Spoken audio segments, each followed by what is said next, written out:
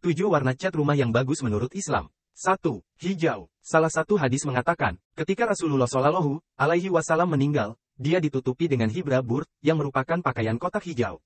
Penggunaan warna hijau pada dinding secara psikologi membuat otak lebih tenang dan nyaman, sama seperti hunian di Bukit Mas Residence. 2. Kuning. Kois bin Sa'd bin Ubadah dan Ummu Salamah mengabarkan, Rasulullah sering memakai baju kuning yang dicelup dengan wars dan zafaran.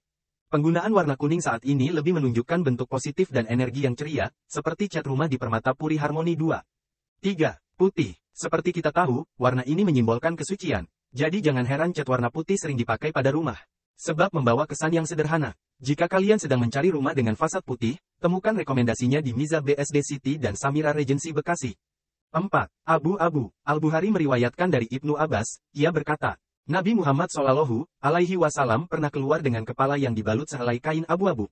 Penggunaan cat warna abu-abu pada hunian lebih identik pada desain monokrom, serta tampilan rumah industrial yang kuat. Dewasa ini, tidak sulit untuk menemukan hunian dengan warna abu-abu, salah satunya adalah unit rumah di Medland Tambun.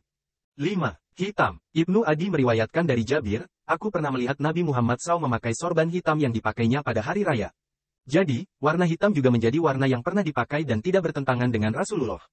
Warna-warna hangat dengan elemen cat warna hitam pada rumah, memang menunjukkan sifat maskulin, kuat dan kokoh. 6. Merah. Abir bin Abdullah dan Abu Jafar Muhammad bin Ali mengisahkan kalau pada hari raya Idul Fitri, Idul Adha dan hari Jumat, Rasul senantiasa mengenakan burdah merah. Jadi kamu bisa menggunakan cat warna merah untuk hunian, dengan catatan pilih warna merah yang tidak menyakiti mata dan kontras. 7. Biru. Selain kuning dan merah, biru pernah disebutkan dalam Al-Quran saat menggambarkan penanda hari kiamat.